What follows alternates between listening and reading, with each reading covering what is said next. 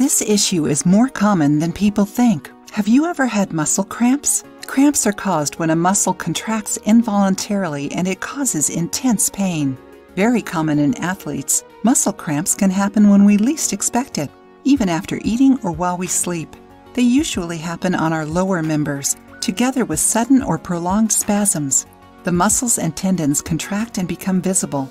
Although the calf is the most common target, cramps can also happen on the abdomen, thighs, feet, hands, and neck. Did you know that?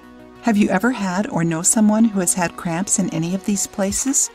Even though most people associate muscle cramps with potassium deficiency, Bettina Moritz, dietitian and doctor in neuroscience, says that nocturnal leg cramps, one that happens when we are not exercising, happens due to magnesium deficiency. On the other side, the cramps that happen during or after physical activities are caused by the lack of potassium. But what do we do when we have muscle cramps? During the crisis, try to gently stretch the area without sudden movements. Don't even think of using strength to move your legs. While you stretch, massage the area to warm up the place. It will help reduce the pain. To prevent your muscles from cramping, you can try to avoid exercising right after eating. Gently stretch your muscles before exercising or going to sleep. Avoid consuming products that contain caffeine, like coffee or chocolate. Avoid smoking.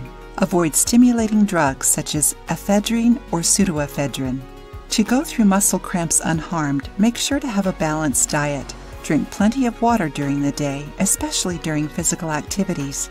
If your muscle cramps persist, even after taking all these measures, talk to a doctor to see what might be happening in your body. If you liked the video, give it a thumbs up and share it with your friends.